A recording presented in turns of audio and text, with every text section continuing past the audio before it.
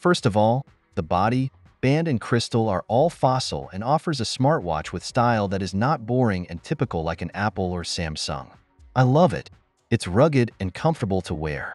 It's important to recognize that what is behind the crystal is quality hardware that is not uniquely fossil. Rather, it's a Qualcomm Snapdragon processor with plenty of memory and battery.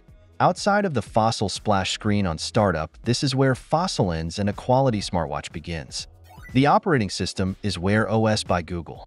This is the same as that on Samsung and tweaked some by Fossil to work with the buttons on the watch and have Fossil watch faces. Having read the negative reviews prior to buying this watch and now having used it for a month, I'd like to mention some considerations that should be made before buying. Before buying any device ask, how am I going to use it? This is a fully functional device that does everything, and it comes with everything turned on and multiple apps that do the same thing.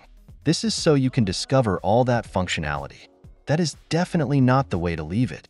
If you do, you'll run into some confusing scenarios, battery drain and sluggish performance. So, I uninstalled the Nike apps. I've used MyFitnessPal from Under Armour for years. I have it on my phone and links seamlessly with Google Fit that comes part of the OS. Google Pay links with PayPal on my phone. I've uninstalled the third-party Pulse, O2, and Step counting apps.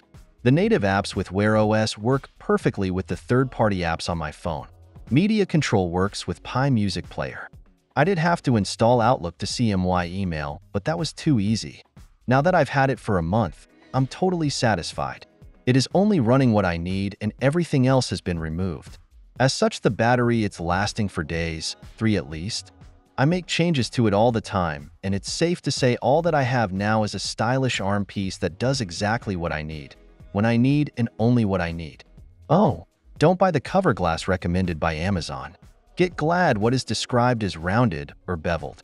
Though any 9H glass will protect the center of the screen, is frustrating to tap the cut edge of the cover glass and have it spur and crack.